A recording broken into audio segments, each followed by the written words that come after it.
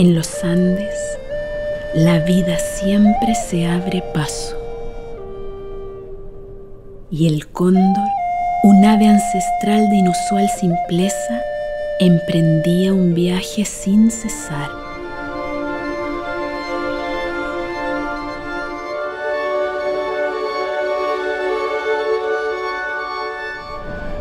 Aprendía a dominar las montañas que esta tierra mostraba como ingobernables.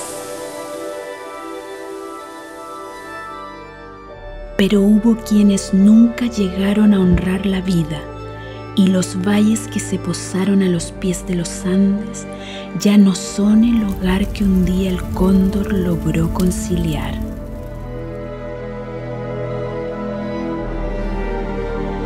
Pero la vida también tiene memoria y yo misma veía el enfado que despertaba en la tierra.